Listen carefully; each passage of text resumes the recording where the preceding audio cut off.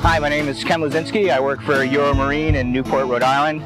We're the manufacturer's rep for Karver Systems, and we're here on Key Biscayne today testing top-down furling with a Karver KSF2 uh, furler on a J105. And uh, the sail we have up right now is a unmodified A2 spinnaker. The beauty of this furling system is that one furler can do everything. You can uh, use it for all your A sails as well as code zeros. You just need a separate anti-torsion rope uh, for each sail.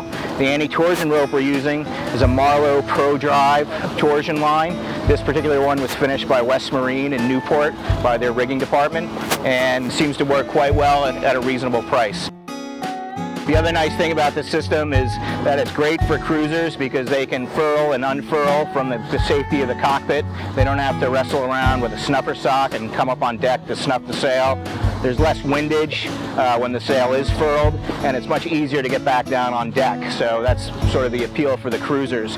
For uh, offshore sailing, short-handed offshore sailing, again, it's a much easier system to hook up sheets to and get hoisted. It's not as heavy as the sock and the collar, and it's also much safer in the sense that you can furl it up from the safety of the cockpit. And if you can't get up right away to get it down because it's not safe, it can stay up for a while and, and not damage the sail.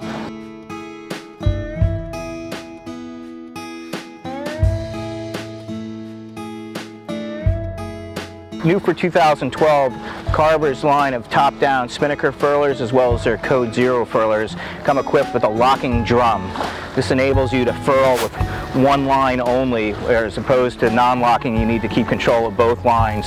Plus you don't run the risk of auto unfurling uh, in the case that the furling line hasn't been cleated off, which is a very nice feature. The critical part of the system working right is having enough tension on the anti-torsion rope. If what you want to have happen is when you turn the drum at the bottom, that the swivel at the top turns at the same time.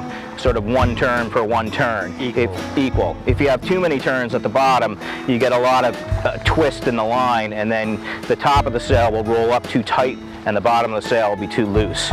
Okay. And is that this green line that we're seeing here? The green line we're looking at here is an adjustable tack line. So if you're, you know, if it's a cruising application, you can probably just have the tack of the spinnaker lashed directly to the swivel on the drum.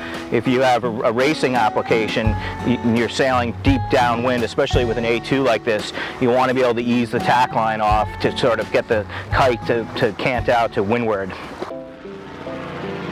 What you want to do is turn the boat pretty deep downwind and ease the sheet considerably till you see the top of the sail start to furl. Once it starts to furl, then you want to control the sheet and not allow too much cloth to get forward and, and overlap into the rope as it rolls up. And then you'll get a nice tight roll like we have here. So as you can see, the head of the sail is lashed to our lashing thimble, and we've overlapped the ring up into the thimble to help it turn a little better. Uh, as I mentioned before, this is an unmodified A2. If you were building a new sail, you might go with a softer head patch and some webbing at the top here as opposed to the ring, which I think would help it work a little better. Uh, but it works pretty nicely as it is. Then the beauty of this Marlow Pro Drive torsion rope is that instead of having to uh, splice it, we can just stitch it with a sewing machine, which is nice. We've left it uncovered for uh, purposes of this photo shoot, but we probably will cover it with a clear shrink wrap so we can monitor the stitching over time just to make sure it's holding up nicely and to give it a better finished look.